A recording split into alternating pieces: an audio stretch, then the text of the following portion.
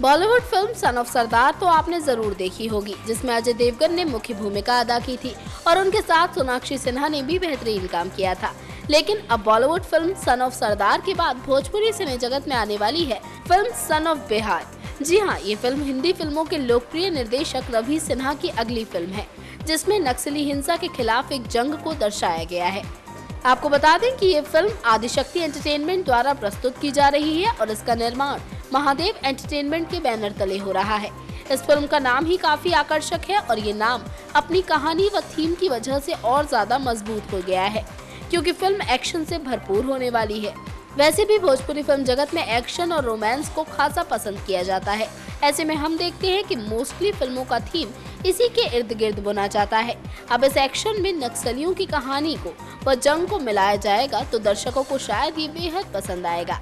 इस फ़िल्म में आपको मोनालिसा, अंजना सिंह, अंजना डॉबसन और पूनम दुबे नज़र आएँगी।